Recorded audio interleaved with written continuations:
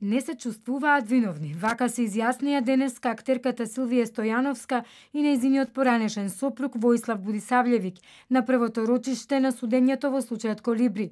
Двајцата во воведните зборови се произнесоа дека не се поврзани со трговија на кокаинот, односно со негово купување и продавање во количина од близу 700 килограми од Јужна Америка во Шпанија.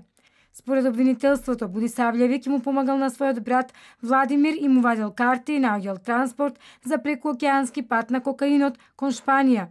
Владимир Будисавлевик и двајца шпански државјани се обвинети за шверцот во Шпанија, каде се уапсени со пратка во близина на Мадрид. Обвинителството тврди дека комуникацијата на браќата Будисавлевик била преку енкор чат апликации на телефонски уреди со кои се шифрирале и криеле пораките – Актерката Стојановска пак уплаќала пари и купувала авионски карти, како и изнајмувала апартман во Мадрид.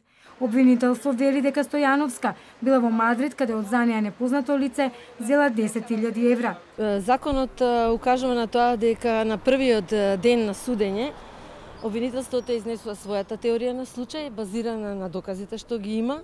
Јас сум уверена дека имаме доволно докази а одбраната има секако свое право во нивната теорија на случај да тврдат дека има докази, односно нема, дека не се издржани, така натака. Тоа е нивно право. Така да, јас сум убедена дека имаме доволно докази да го убедиме судот во содржината на обвинителниот акт.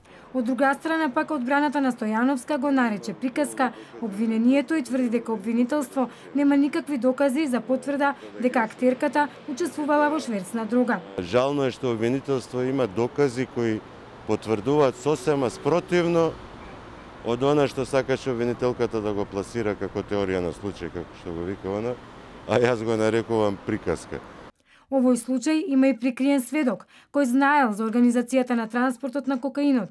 Истиот прво требало да биде обичен сведок, но се уплашил и се пријавил за прикриен сведок на обвинителството за собствена заштита.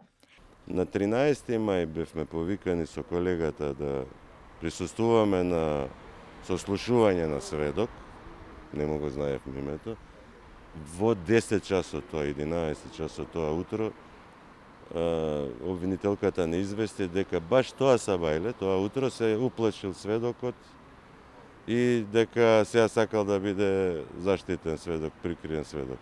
Судот го прифати барањето на обвинителството за продолжување на мерките за обезбедување присуство за двајцата обвинети.